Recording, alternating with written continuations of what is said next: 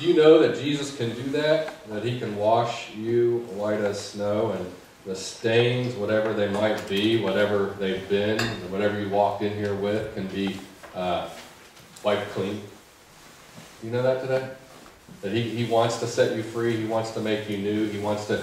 Uh, I, I find great hope in that because I don't know about you, maybe, maybe you have nothing that needs cleaned up, but I do. Amen? Amen. yeah, you're like, yeah, we know you do. Yeah, we know you do. We know you do. Um, hey, this sun, this Wednesday, I want to invite you to a special event. Um, you'll have two opportunities this this Wednesday to celebrate what, what's called Ash Wednesday. And if you've never been a part of an Ash Wednesday service, I invite you to come and be a part of that. Uh, you'll see uh, in our bulletin uh, there is some information about that. We are going to have two opportunities for you to worship. Uh, Ash Wednesday kicks off a season called Lent. And if you're not familiar with what Lent is, it literally means, it means spring, and it is the season leading up to Easter.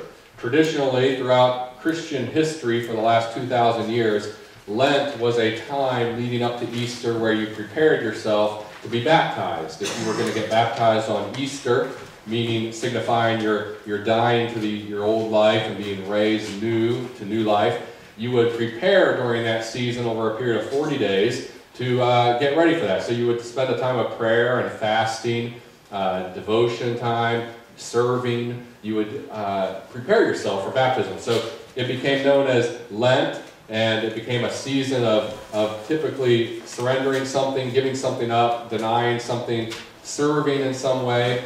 And we kick it off with Ash Wednesday, and you'll have two opportunities that day to worship. One will be at noon here in the sanctuary. So if you have a lunch hour or can get free for lunch, uh, come on out at noon. It'll be a, will be a, a short 30 minute service, and uh, you'll get an opportunity to come and pray. We'll, uh, you'll, you'll, get what we call imposition of the ashes. And so we'll place a, an ash in the form of sign of a cross on your forehead.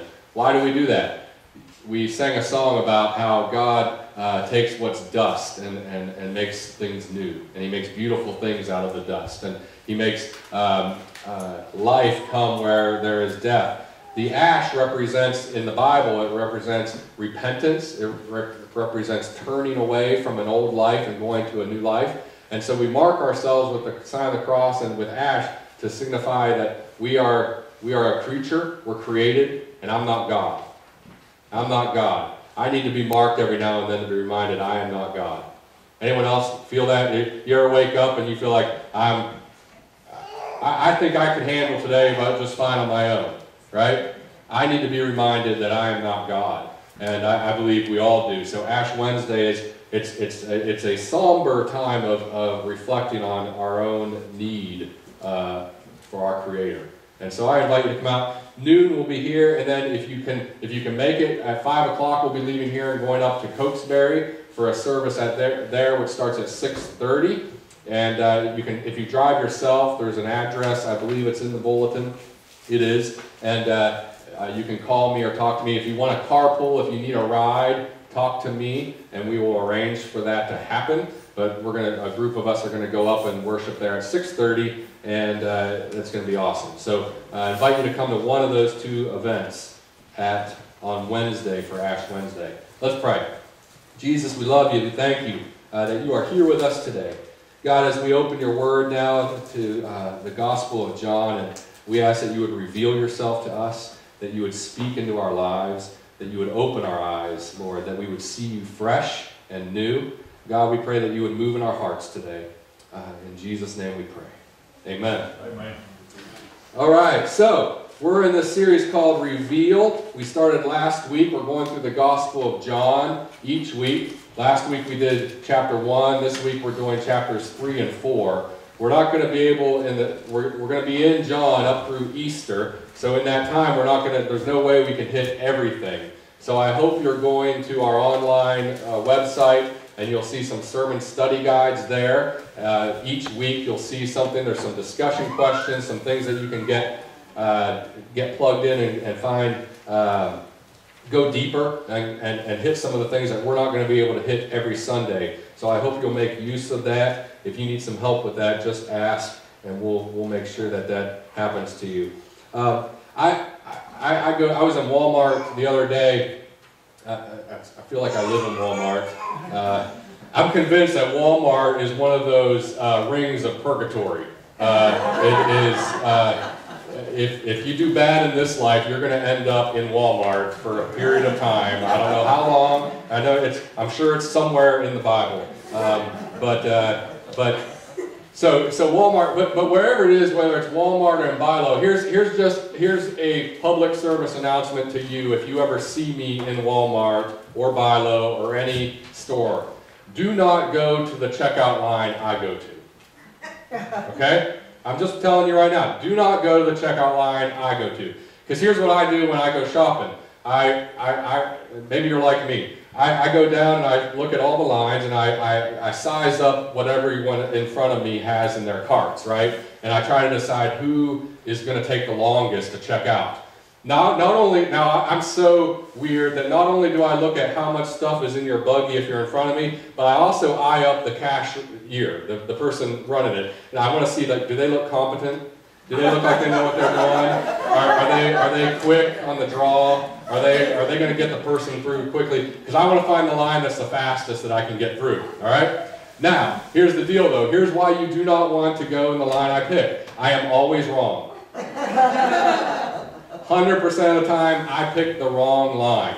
So if you get behind, I, I, in fact, I do this all the time. I apologize to people behind me. I, I get in line, I, they get behind me, I go, man, you picked the wrong one, buddy.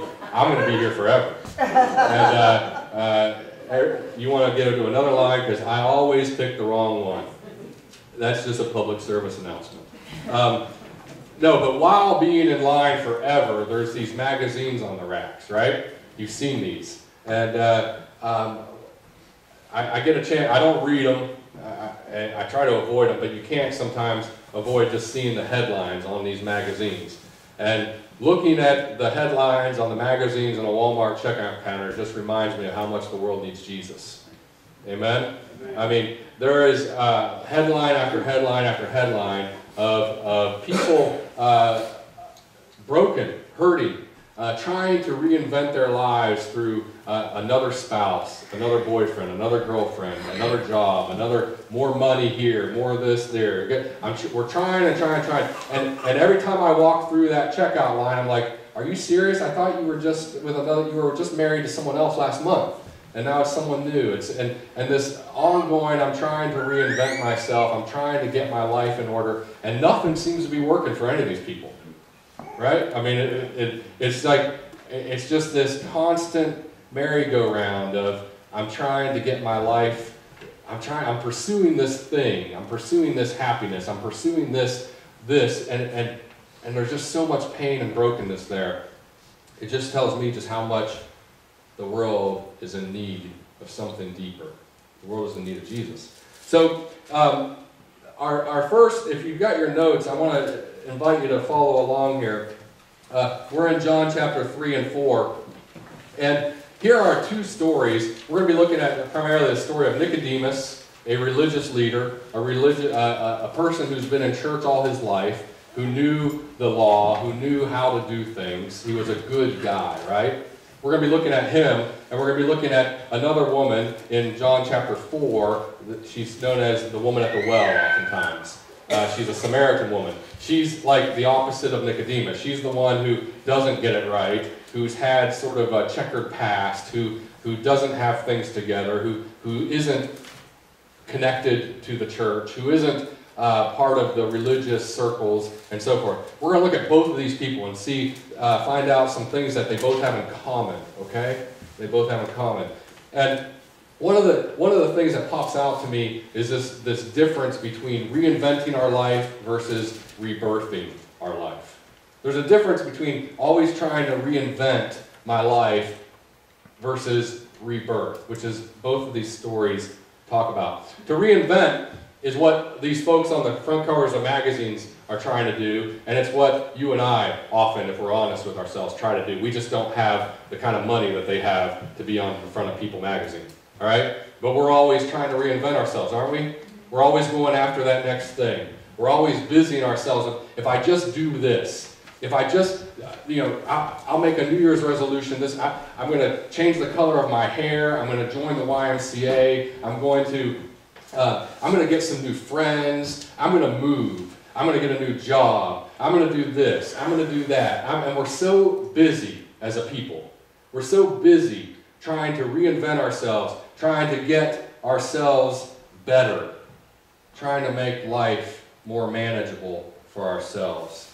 And here, in, in the midst of all this, is this guy named Nicodemus. And, and he walks up to Jesus in, in the middle of the night. It's dark outside because he doesn't want anyone to see him.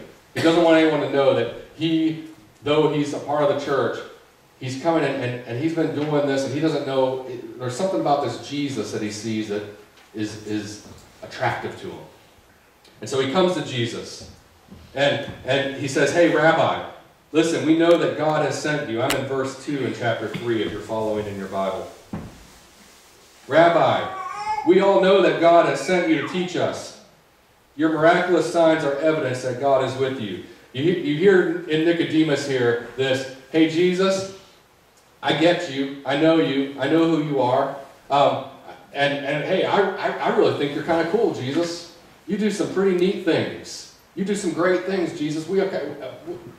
We're, we're okay with that. We know who you are. It's, it's the church card, right?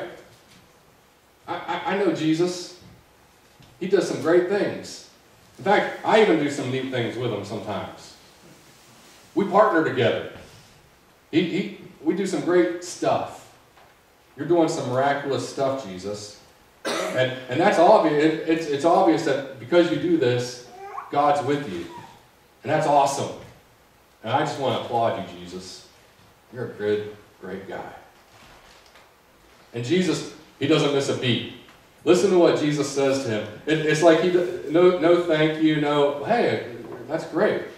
Come on, I'm, I'm, I'm happy you noticed that. Listen to what Jesus says in verse 3. I tell you the truth, unless you're born again, you cannot see the kingdom of God.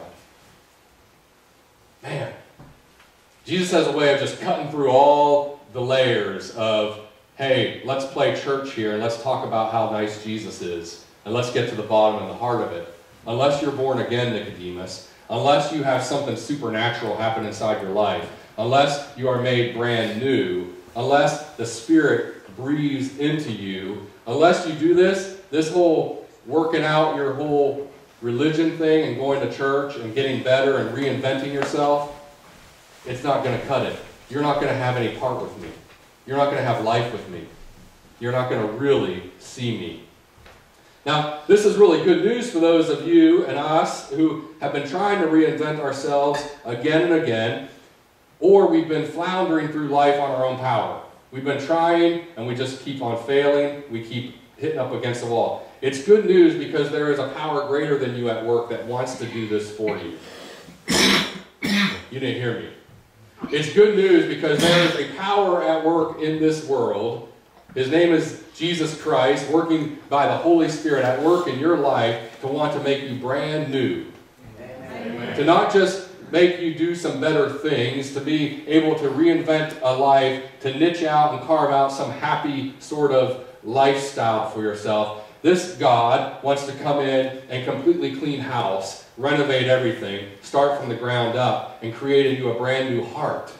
That's good news for us, whether we're trying to reinvent ourselves and just make ourselves more comfortable, or whether we've been in the gutter and in the barrel and really down under, and we know that nothing seems to be working very well. And the only thing you have to do today, you don't have to do, you don't have to plan it. You don't have to call your barber and get a new hairdo tomorrow. You don't have to get a new job tomorrow. You don't have to get uh, move to a new town, move to a new state. You don't have to do any of these things. You don't have to try to do anything more than for today just to surrender. Just surrender. Raise your white flag and say, I'm done trying to fix myself. I give the keys of my life over to you. Surrender. I'm done fighting. I'm done striving. Jesus goes on in verse 6 to say, humans can reproduce only human life, but the Holy Spirit gives birth to spiritual life. You know, humans, you and I are, you know, we're human. You knew that, right? Yes? Humans produce human life. I don't, don't miss what Jesus is saying here. Because you and I, we know what sort of life humans produce, right? Not, and I'm not talking about babies. I'm talking about sometimes the life we produce as humans, it can be pretty good. I mean, we can, we can get, um, sort out, you know, a, a life that looks good, really good on, on Instagram or Facebook. Looks really good on Twitter or Twitter. we, you know, we, we, we, can, we can etch out a life that looks pretty good. We can etch out a life that looks that has a nice 401k building up. It, it's got a good job, a good home. We take a vacation every summer. And to other humans, it looks pretty good. And other times, that life that we etch out as humans, it can be pretty miserable, though, right? It can also be pretty miserable. It can be on the other side of the extreme.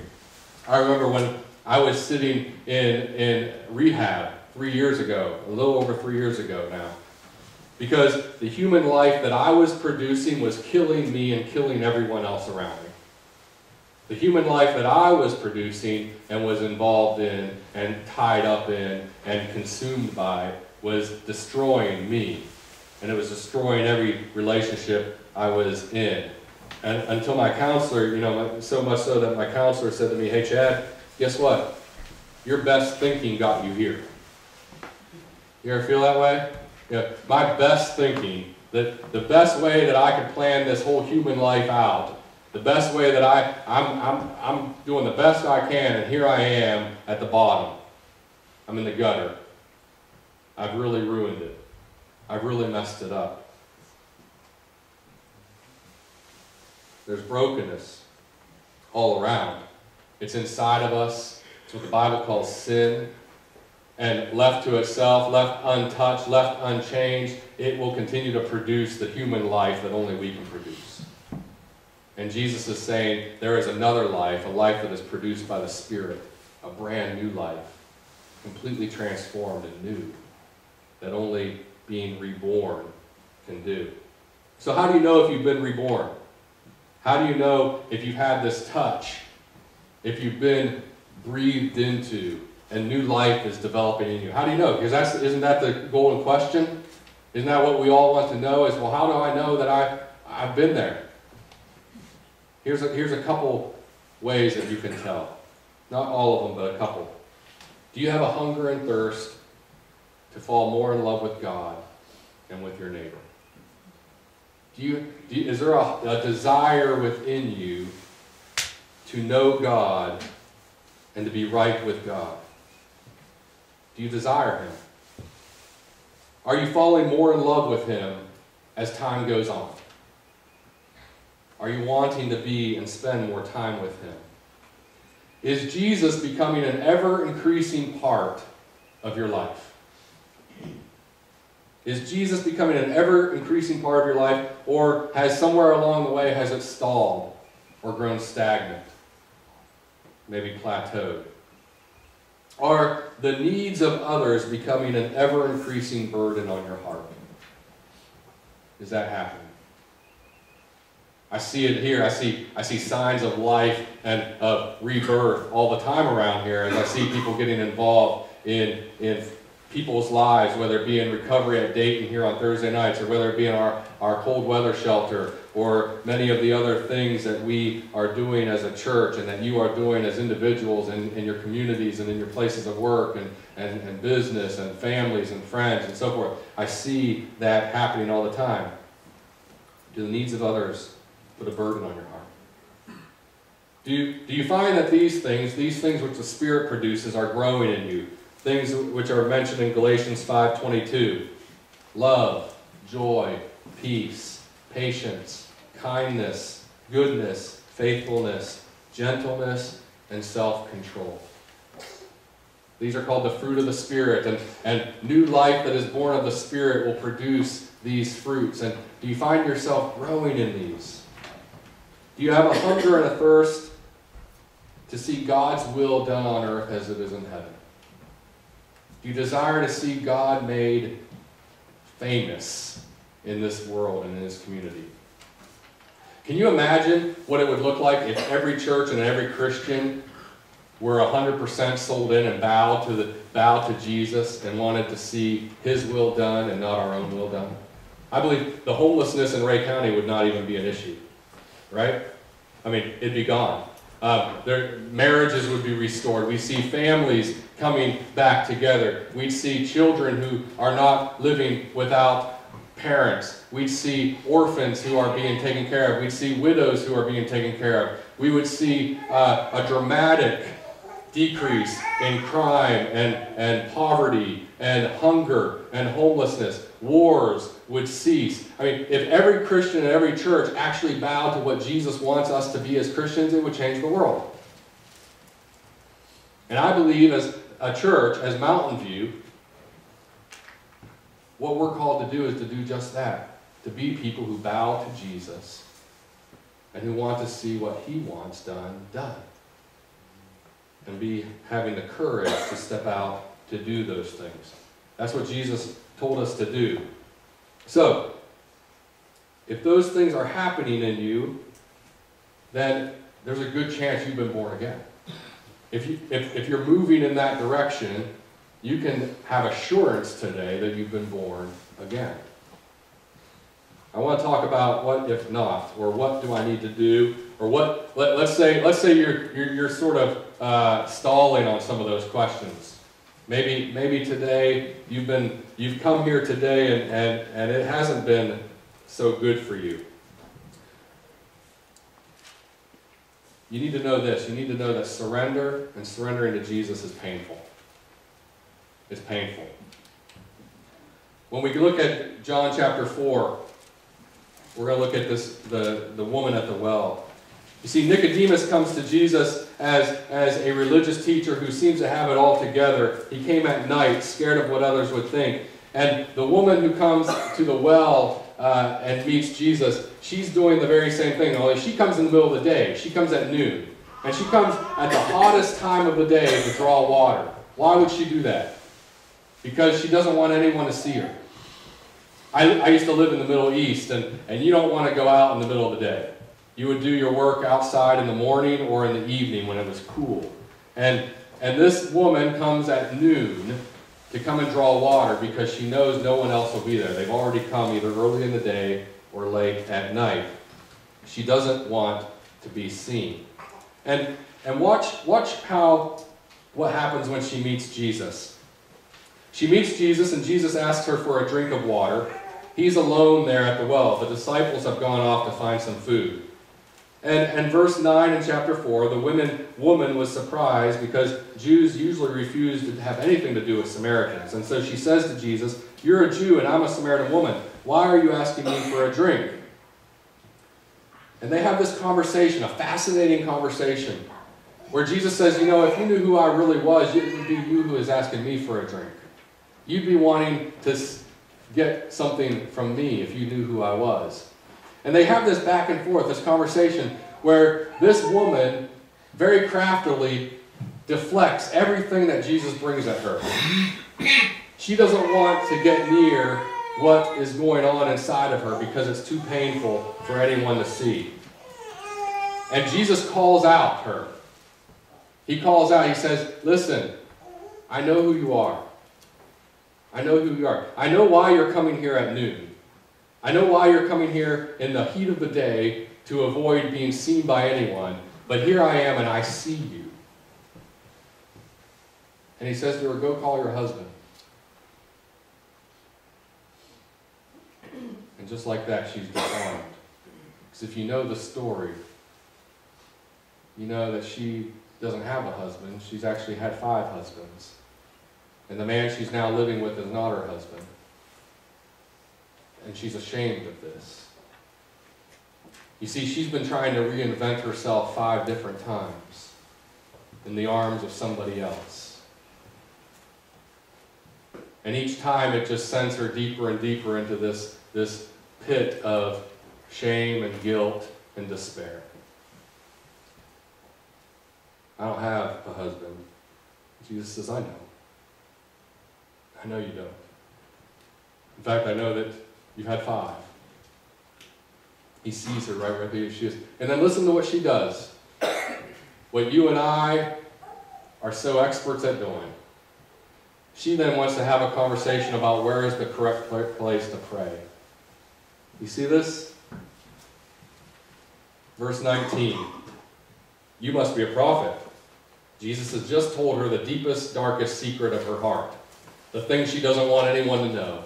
The thing she wants to run away from. The thing she's trying to avoid having a conversation about. And so here's what her response is I see you're a prophet. So tell me, why is it that Jews insist that Jerusalem's the only place of worship, while we worship here on this mountain where our ancestors worship?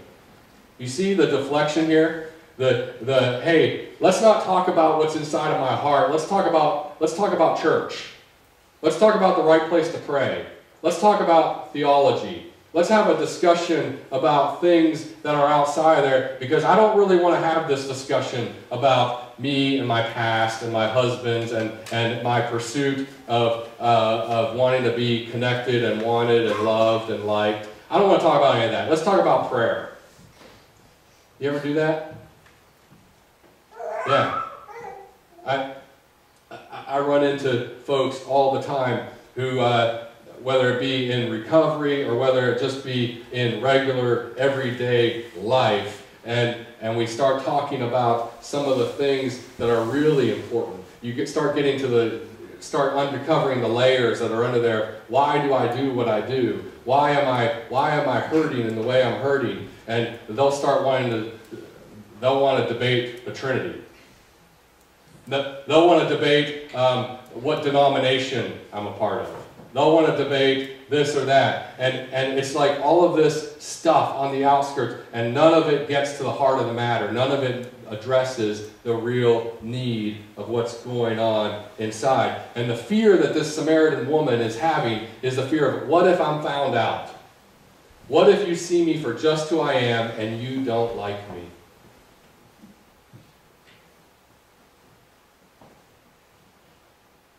What if you see me for who I really am and you don't like me?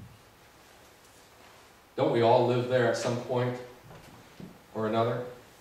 Don't we all enter that place at some point or another? What if you see me and you don't like me?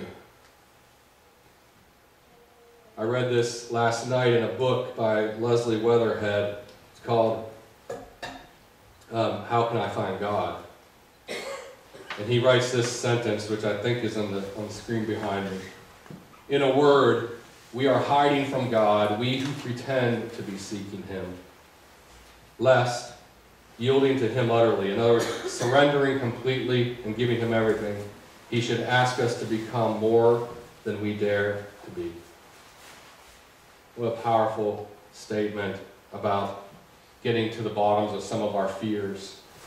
I don't want to completely surrender to God because it's so painful, because He's going to start to see and look at the stuff that's underneath there, the things I've done, where I've been, what I've, what I've lived through, and I don't know that I can handle that. And Jesus says to you here today, He says, Hey, I see your past. I see your hurt. I see the grief that you're clinging to in your heart. I see the pain that you've been through. Perhaps it's over something your father or your mother did to you when you were young, or a friend or a family member or someone you were close to. I see it. I see that. He says to you today, I see the thing that you run to every time that you're alone, or you feel scared, or you're angry, or you're happy, or you're joyful, or you're bored. I see it.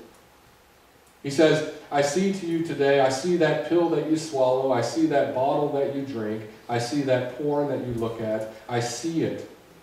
I see that person you run to and get all consumed into because you feel very much alone and you're afraid of being alone. I see it. I see where your thoughts go when you're by yourself. I see the anger that's boiling up inside of you, and it comes out in times at rage with others that are close to you. I see it. it says, I see the fears that you have of doing anything new, of taking a risk, of stepping out in faith. I see it. I see the fears you have of getting cancer, or not having enough when you retire, or getting sick, or losing a family member, or of dying yourself. I see that fear. I see it inside you. I see it. He says, I see how you keep yourself busy so that no one can really get to know the true you. Always going, always going. I see that your real love is money and possessions and career and status. And that if you lost that, you would feel like you've lost everything. I see your past. I know what you've done. I know what you've thought. I know what is going on. I see your dreams and I see your lack of dreams. I see it. And each of us have to come to that place at the well, just like the woman at the well does here, and allow Jesus to see us for who we really are, allow him to love us as we truly are. And that's exactly what he says to us. He says, Look, I'm here, I see you, and guess what? Here's the good news. Despite all of that, in fact, because of all of that, I'm here. Because of all of that, I'm standing here today. Because of all of that, I had this divine appointment with you at this well, at this spot of your brokenness, at this spot of your deepest fear and pain and hurt. I had this divine appointment to meet you here today to tell you this that I love you and that you are worth dying for. That's what he wants you and I to know today.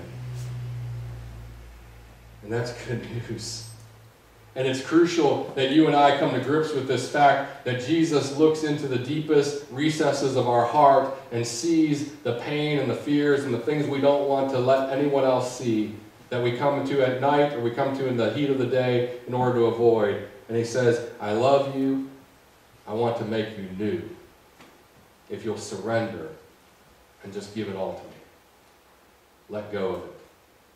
Lay down your life and follow me. Surrender is painful because it reveals the deepest parts of who we are. And it gives it over to someone else to control and to be a kingdom. The third thing, we need to move quickly here surrender is daily. It's not just a one time thing. It's, it, it's not just a, uh, well, I did it several years ago. Surrender is a daily, ongoing thing. Jesus said to the crowd in Luke 9, He said, If any of you wants to be my follower, you must turn from your selfish ways, take up your cross, what's the word? Daily, daily and follow me. Daily surrender. Daily give it up to God and allow Him to be the Lord of those things in your life which are most keeping you in bondage daily.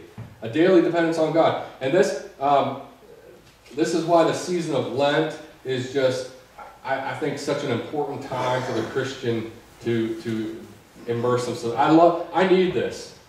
I need a season of reset. You know, that's what Lent is for me. It's a reset button. Anyone need a reset button in life? Or wish you had one? I, I mean, I know we talk about like the Staples easy button, like boom, that'd be awesome too. I would love one of those. But I need a reset button. I need a time where I can recalibrate my life and align it back up with what, what it, where it is that I need to be with God. And Lent offers me that, that rhythm. Every year it comes around. Ash Wednesday, I get to come and I get to kneel down and have some ash marked on my head and say, Hey, Chad, you are not God.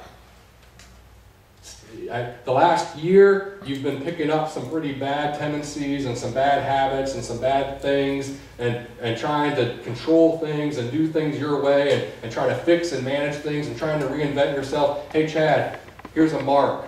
You ain't God. You're powerless. I have the power, God says. And, and then as I rise up with that mark on me, and then I enter into the season of Lent, I begin to feel God's presence empowering me, energizing me to be able to give up some of the things that have been sort of holding me and, and getting me dragged down into the ways of the world. Things that have been holding me back. I had a, um, Lent's a great time for you to give up something. And, and, and don't, here's a, just a suggestion, all right? This is, this, is, this is Chad talking. Don't give up chocolate if you don't eat chocolate all the time, all right?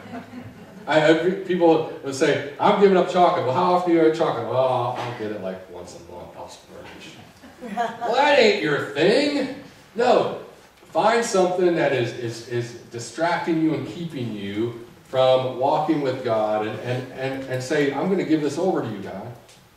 I was having a conversation with some, some gentlemen this past week who are trying to uh, find some freedom from their online pornography addiction and uh, tremendous courage to come forward. And, and listen, guys, if you're, if you're here and you're struggling with that, you're not odd because you're struggling with that. You're odd if you step out and say, hey, I'm struggling and I want help. Amen? What makes you odd is not that you're having this struggle. What makes you odd is not that you're having any struggle at all. All of us are having struggles. What makes you odd and why we say every Thursday night, hey, if you're here on Thursday night seeking recovery, you're one of the most courageous people in Rhea County. We tell them that every week. And if you come Thursday night, you'll hear that too. You're one of the most courageous people in the county for saying, hey, I'm struggling with something. I've got something in my life I want to be free of. I want to have support, and I want to be enabled by, by some higher power greater than me. Many of the folks who come here on Thursday night, they don't even know what that is yet. But they come to learn that one day that's going to be Jesus. He's going to come into their lives and change everything they're going to be born again. So, um, back to what I was saying, these, these gentlemen who were wanting to be free, we were talking about, well, what is it that trips you up? Well, um, Twitter. I, I see this stuff on Twitter. Get rid of it. Get rid of it. Cut it out of your life. Take these 40 days of Lent and say, I'm going to stop this. I'm going to cut it out of my life. I'm going to surrender it. I'm going to give it, give it up to God and see what he does with that and watch him work in that. Um, it's worth it. It's worth it. If, if you're struggling with something that's not that's holding you down and you want to be free of it, Lent is a wonderful time to say, hey, I'm going to do some, I'm going to rearrange some of my priorities in life and allow God to breathe new life into me through, through these steps. Um, on the back of your, your notes, there is the mercy prayer. It's not something that is a stranger to, to you if you've been attending Mountain View Church for, for more than a year. But um, as I look out over here, many of you are new and you may not know the mercy prayer. Um, this is not the first time I've taught it and it won't be the last. This prayer changed my life. And, and I give it to you to put in your pocket and take with you and to pray it and make it a daily prayer. Maybe during Lent you want to pray this every day. Let it be the first words out of your mouth in the morning and let it be the last words out of your mouth at night. Pray it for your friends, pray it for your spouse, pray it for your enemies, pray it for your uh, children, pray it for yourself. Lord, life me is number five. Breathe new life into me. Make me reborn by the Spirit so that I'm no longer operating and creating human life. Let me create spiritual life breathed in by you. Life me, God. Life me. When I was uh, getting free myself, I prayed these prayers a thousand times a day, every day. I would go to bed exhausted because I'd been praying. But you know what? I went to bed victorious because I've been praying. And, if you're struggling with something, if something is keeping you down, if something is, is holding you back, if you will pray, if you will commit to praying this prayer for 40 days, I'll promise you that your life will be brand new. I promise you that God will do a work in your heart that you can't do yourself. And it'll be amazing. And you'll see a freedom and a newness of life that you had not known before. Pray this prayer. Men, guys, husbands, I want to challenge you as a husband myself. I want to challenge you to pray this prayer for your wife. Pray this prayer over your wife every day during Lent. God, I pray that you would flood Amy with your need filling mercies. God, Give her what she needs. God, I pray that you would make Amy to know Jesus more. Make her to love you and to want to increase in the knowledge of you, God. I pray that you would make Amy poor in spirit. Lord, I pray that you would do it gently. Help her to see her neediness for you, God. God, I pray that you would fill Amy with your Holy Spirit, that you would immerse her in your Spirit. Come to her in power and might. God, I pray that you would life Amy, life her, pour out your life giving mercies into her soul. God, I pray you would bless Amy. Lord, bless her in everything she touches. Bless her spiritually, physically, and financially. Bless her loved ones. Me, I guess. Um, do for her, Lord, instead of me. See, now, now I got the guy's attention now. Like, oh yeah, I'll pray that now. Yeah. Lord, mercy Amy. Flood her with your need-filling mercies. Pour them out in superabundance. Find and meet every need in her life as you see it, Lord. Guys, can you imagine what would happen if you would pray that over your wife every day for, during that? And wives, I'll put that on you too. Imagine if you were to pray that every day over your husband over this next 40 days. Imagine if you were to pray that over the uh, checkout person in the counter who is going way too slow. Lord, mercy them, God. Bless them. Imagine if you would pray that over the person who cuts you off as you're leaving here to go to lunch in just a few minutes. Imagine if you would pray that for the person who is staying in our cold weather shelter tonight and the person who needs to be there this Thursday. Imagine if you would pray. Very quickly, the end to close. Surrender leads to new life. It leads to real life. Jesus replied to this woman at the well, Anyone who drinks of this water will soon become thirsty again. That thing you've been running to over and over again, that way you've been trying to reinvent yourself, has it ever really satisfied? If you're honest with yourself, you know the answer is no. It just keeps on demanding and wanting more and more and more, and it will take everything until it leaves you with nothing. The waters of this world, the human life that we try to produce, will always leave us thirsty for more. You were created you were created to be in a relationship with God. You were created to be in communion with Him. You were created to have this thirst for what only He can give. And the more we chase after other things, the more we find that we are left empty and we are left thirsty. And Jesus is saying, you can keep going after that, but it's just going to keep on making you more and more thirsty. Come to me because I have living water. Water that if you will take and drink of me, you'll never grow thirsty. And not only that, you'll have eternal life. You'll have a life that begins today, which will last for all of eternity. And it'll be new life. It'll be reborn of the Spirit. It'll be something you can't create or reinvent yourself. It'll be heaven sent and it will be brand new. And it will be powerful and life-giving not only to you but everyone around you. They'll see it and they'll notice it. Because you know what? The great story about the samaritan woman she goes from this place of complete brokenness and complete fear of being who she is and exposing who she is. And she goes into town and she goes and tells everyone about this jesus who said and knew her for who she was and loved her for where she was and they all became Christians because of her testimony. They all came and said, Hey, we want to know who this Jesus is. He's done something amazing in your life. Maybe he can do that in my life too. That's what Jesus wants to do in you today. And if he's done that in you, if you've been born again, that's what he's calling you to do, to go out and invite people to come and see.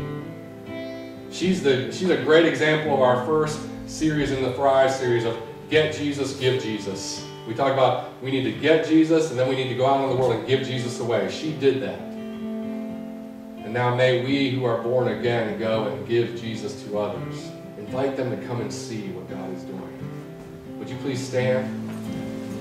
If you're thirsty today, if you've been, if you're just parched, and guys, there's no shame in it. I mean, Don't, don't leave these doors here today thinking, I don't want anyone else to know that I'm broken and that things aren't right in my life. Don't leave here thinking that there is any shame. Don't leave here like Nicodemus or the woman at the well showing up at night or in the middle of the day when no one will see. Because guess what, guys? Everyone here is broken. Everyone here is a sinner in need of Jesus. Every one of us are in need of this water that Jesus is freely offering here to you today. And as James sings, Oh, how he loves me, he's looking into your heart today and he's saying, I've got water that you can't buy at Walmart. I want to give you something that will give you life eternal. Would you come and just feast on him today and drink from his waters today? This altar is open. Jesus is here. The names on these boards are here to be prayed over. If you want to come and pray, write a name on there. If you want to put your own name on there, great. Come and drink from the water that will never go dry. In Jesus' name.